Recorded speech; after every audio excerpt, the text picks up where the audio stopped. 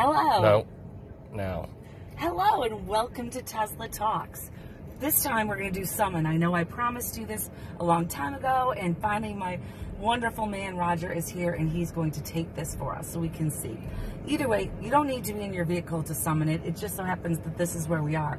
It's we're in a little bit of a tight fit here, not much, but if you were in a garage, for instance, or somewhere where there was a lot of cars and you had bags you wanted to get in and didn't want to bang into the car next to you, summon is a great thing. It's also a really good thing for our garage, although we cannot get our car in it yet, um, because of the fact that I have a lot of craft things in my garage. I use it as a studio.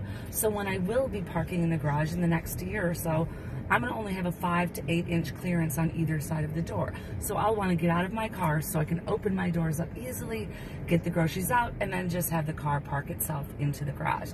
So it's real easy. We use our Tesla app, log into the app, Obviously, I'm going to get out of the car, close it as though I'm leaving, making sure I take my key fob with me so that there's no confusion over what's going on because the car will get a little bit confused if the key fob is inside. So here we go. Don't fill my butt up.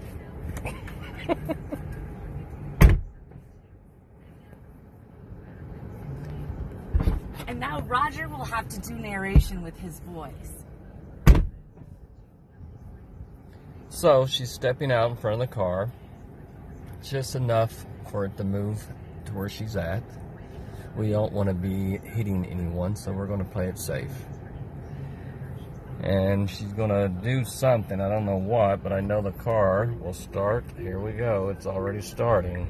And we are moving.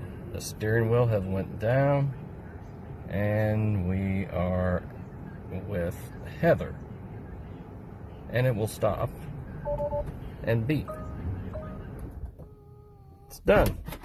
And that's it. A perfect example of summoning tight quarters. Able, look, oh, full availability to open the door easily, get my stuff in, not worried about banging the car on anything. And there you go. Thank you so much for watching another edition of Tesla Talks.